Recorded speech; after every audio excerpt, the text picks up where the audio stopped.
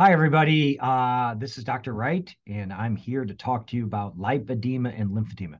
And these, uh, there's a lot, there's a lot of overlap, but uh, they are different diseases, and most people don't understand the differences. And so I'm going to go in to a deep dive into lipedema and lymphedema, and hopefully um, that help everybody understand the differences and similarities between them.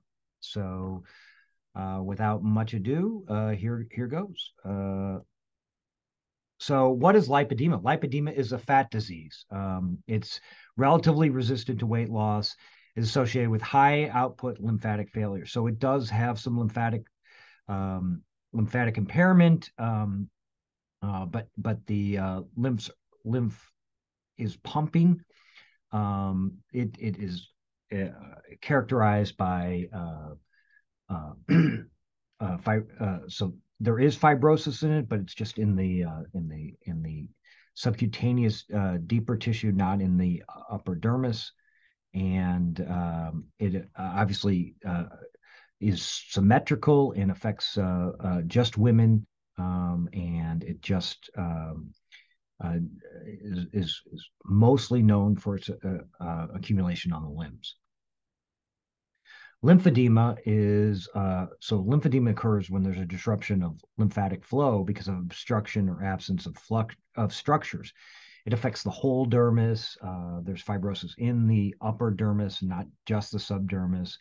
Uh, associated with uh, various complications, including infection. And um, many people think of just lymphedema in terms of uh, from cancer, or, but it's actually the most common cause of, of lymphedema right now is obesity, actually, and then uh, venous venous uh, problems uh, such as blood clots and and uh, uh, venous obstruction can also cause lymphedema is a very common cause of that. Um, it's also associated with trauma, and especially like knee knee replacements can lead to lymphedema. So um, lymphedema, we'll get into more of this in just a little bit. So prevalence, lipedema is a, uh, it's it's hard to know. It's estimated that it's uh, occurs in about 11% of the female population. Um, it, you know, estimates range from uh, five to 20%.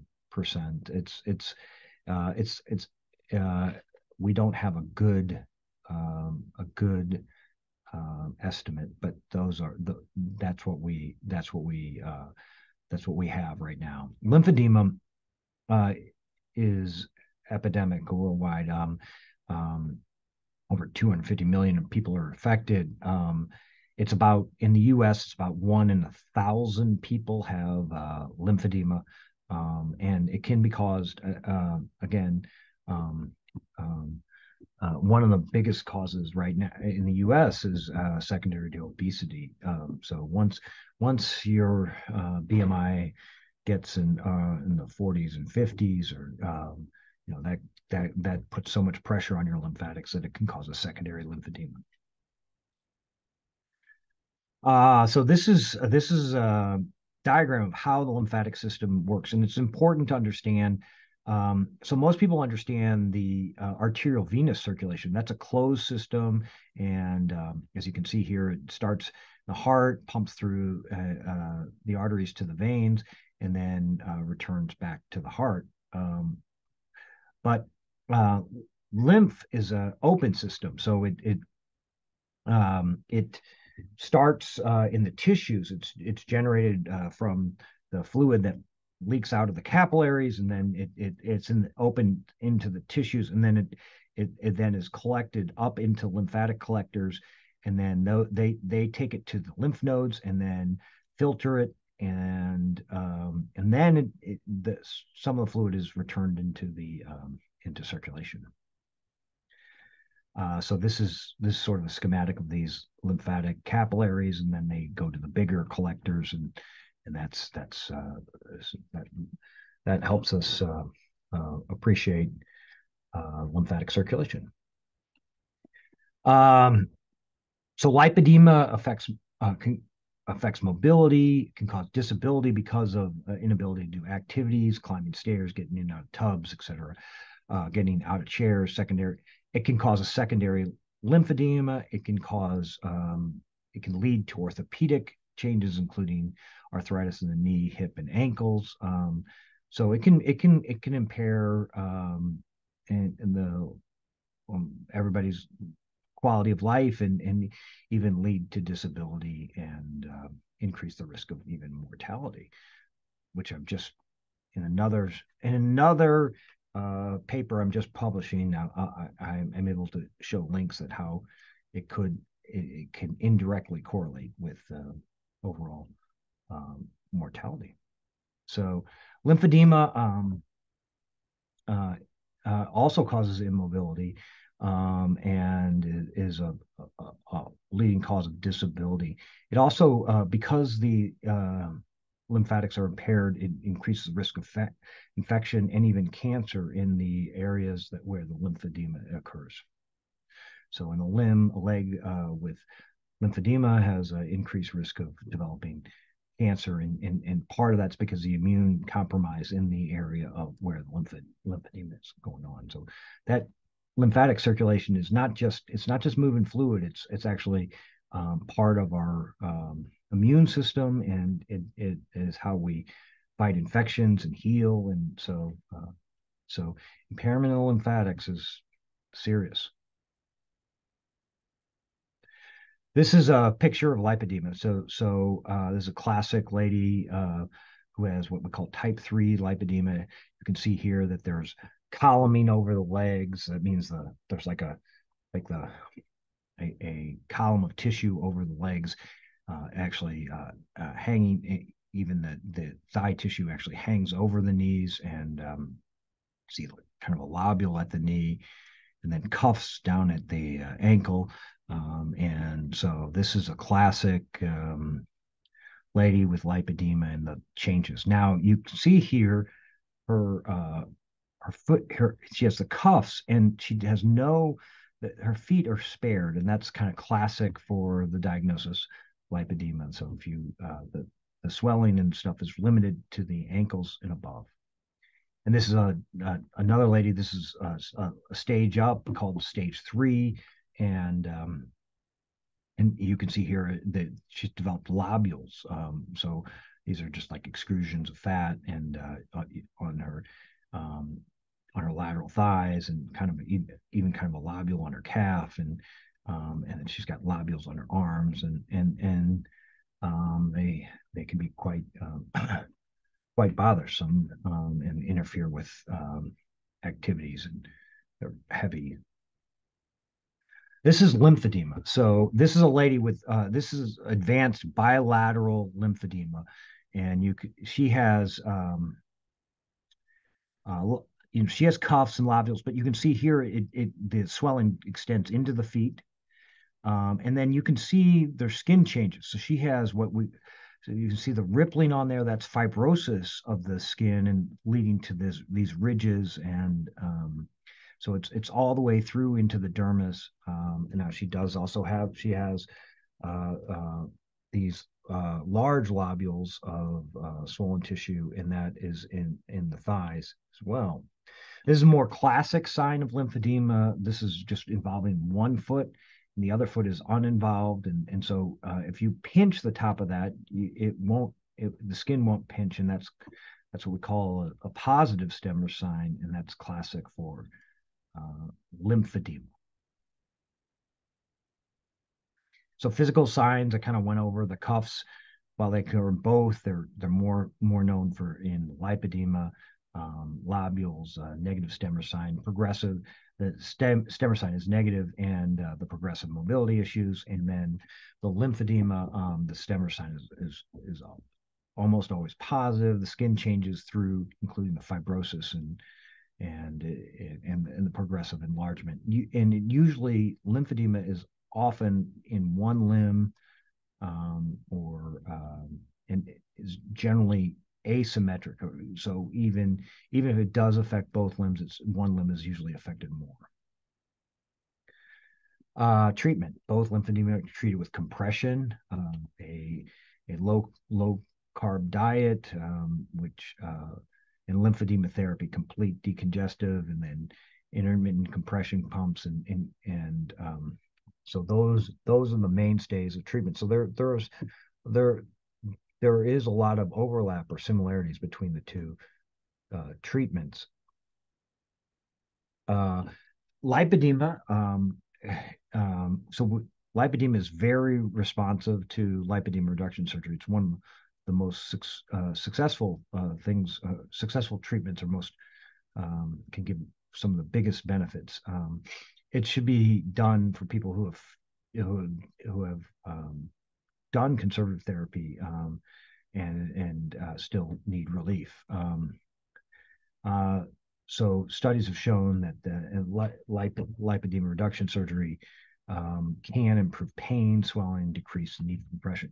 We also can do a reduction surgery in lymphedema, but um, that's um, that's not as often done, and and most of the time, uh, lymphedema is just managed with non-surgically with uh, compression.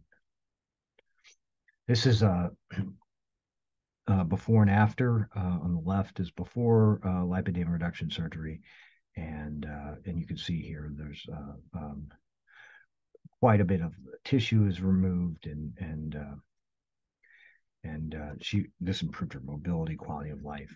With lipedema, she had type type three, stage three lipedema with the lobules and the um, and and it was it was impairing her mobility.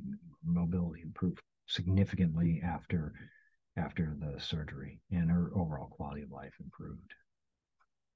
This is just um, before and after showing uh, like one of these lobules uh, on the inner knee before and after surgery and uh, and even that even that can just even removing that lobule can improve the knee flexion and range of motion and mobility so and as well as they can be very heavy and tender, and, and that reducing that lobule uh, gave her great relief. This is uh, this is a side view uh, before and after, and you can see there's this column of of lipedema tissue over the th- over the knee, and then after the surgery, that's reduced, and that that can help the mobility and pain and symptoms of lipedema.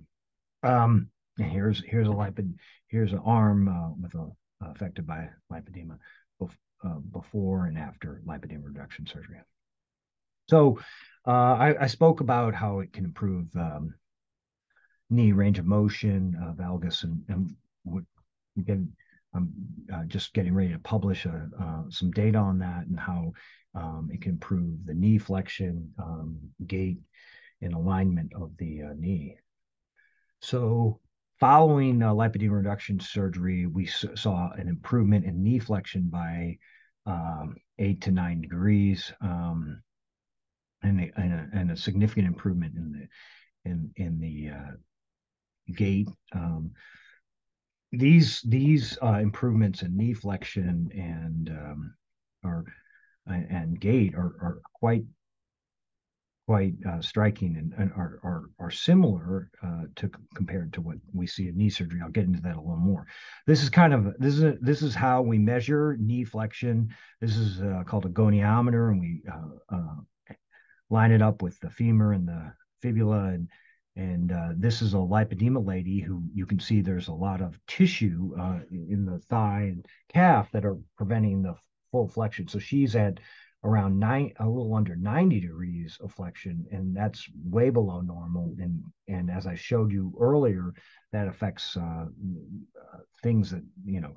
So at that, at, at this kind of flexion, it's difficult to go up and down stairs, and and, and difficult to get in and out of cars, etc.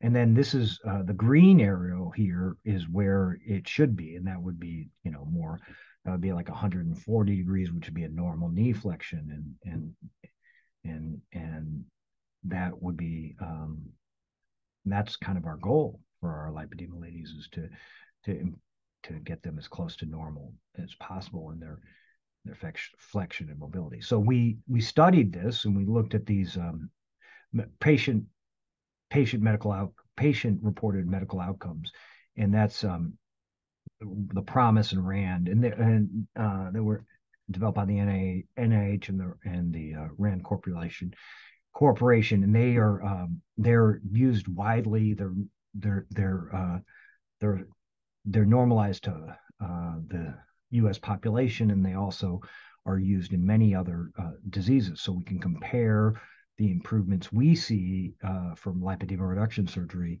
with um, with uh, improvements seen with other uh, surgeries for other diseases. So um, Rand, um, the, so this is the the SF36. So um, uh, uh, medical outcomes, and we can see on all sorts of um, components of overall health, such as physical functioning, role functioning, energy, fatigue, emotional well-being, social functioning, pain, and general health. They all started well below mean, and some uh, improved to above the mean, or or or um, or, or just just below it. Uh, um, and that that's uh, those are all statistically significant. This is that same data just showing there's a you know just graphed uh, and in and and then we can see here you know over each of these uh, domains of of health that there's uh, um, you know improvements after the surgery. Here is some of the PROMIS data, and we we see here that the um, that there's a 15% uh, increase in the ability to walk at normal speed, and that is that is a that is significant. Um, that's statistically significant, but it also is significant in terms of this, like normal uh, normal gait speed is associated with um, a lot of measures of health, and uh, declining gait speed is associated with disability and even even uh, future mortality. Um, similarly, we saw an 18% improvement in the ability to go up and down stairs. And that stair ascent and descent is another key indicator for overall health, uh, mobility, and uh, predictor of future disability and and even mortality. Um, and then uh, we also um, you know showed significant improvement in ability to get up uh, up uh, from a chair, and all all these things are um, um, are very um, show uh, very very significant improvements in, uh, uh, in important measures of overall health. So when we compare lipedema reduction surgery to uh, a total knee arthroplasty or knee replacement, um, these are our, our data are, are from the lipedema reduction surgery are, are every bit as good. Um, we are showing um, uh, similar improvements in overall mobility, overall quality of life, and activities of daily living. Uh, using the same, the exact same uh, validated measured tools um, have comparable uh, comparable mechanical improvements in in in knee uh, flexion, uh, comparable um, improvements in quality of life, and and uh, and and these are these are quite quite striking and and really uh, um, are, are able to show that this surgery is uh, can can have as impact the same kind of impact in someone's health as a, a, a knee replacement. Well, that is all my time, and I really appreciate you uh, uh, your interest. And uh, if you have any questions about this or anything, please put them in the comments. I really, um, I, will I'll, take some time to answer them, and I hope this is helpful to, um, you know, the people. And again, thank you again for for uh, listening and and and uh, um, wishing you all the best of health. So, goodbye.